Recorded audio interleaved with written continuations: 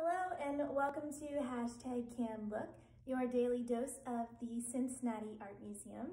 Each day, a staff member will take an object from the permanent collection, share it with you, and post some questions below. Make sure to tune in at 10 a.m.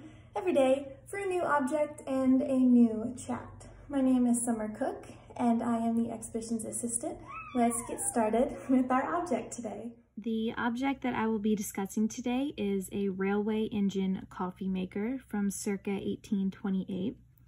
I chose this object due to my absolute love, um, borderline obsession with coffee, and my appreciation of decorative arts, specifically unique silver designs. Although this has an unknown maker, there are many clues as to which time period that this particular object come from uh, most notably how trains were all the rage at the time. Uh, long before paper cups and single-serve plastic pods, uh, coffee was more of a fine dining experience.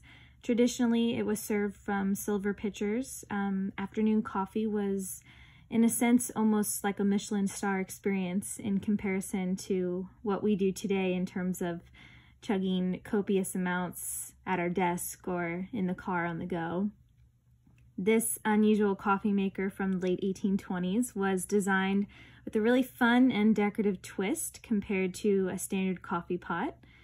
In the early 19th century, uh, the steam locomotive was moving countries forward during the Industrial Revolution, and tracks were being laid across the United States and all around the world.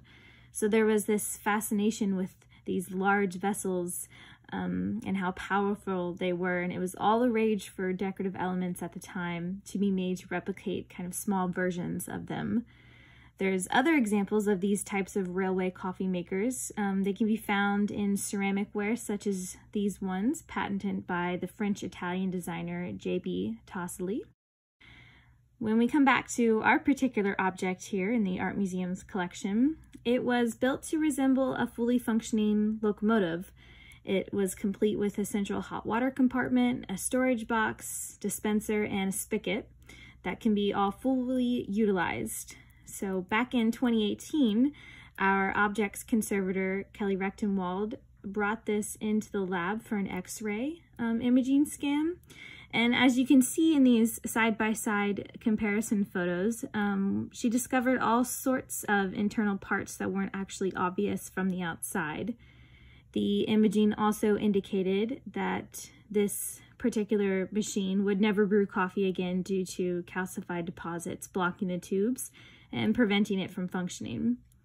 So the railway engine is actually set upon a single track, um, silver as well, and it is possible to connect additional tracks.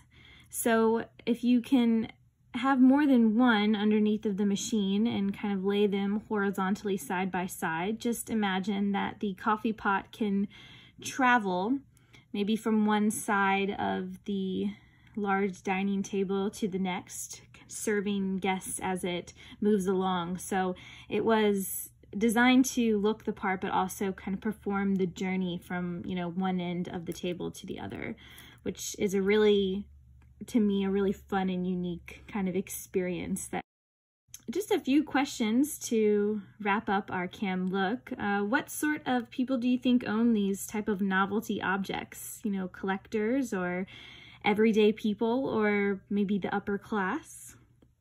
Were they similar in fashion where kind of the excitement surrounding all of these unique pieces kind of fades?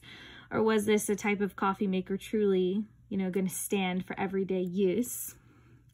And also, do you have any other examples of everyday use objects around the house that take on a unique flair such as this? I would love to see some in the comments below.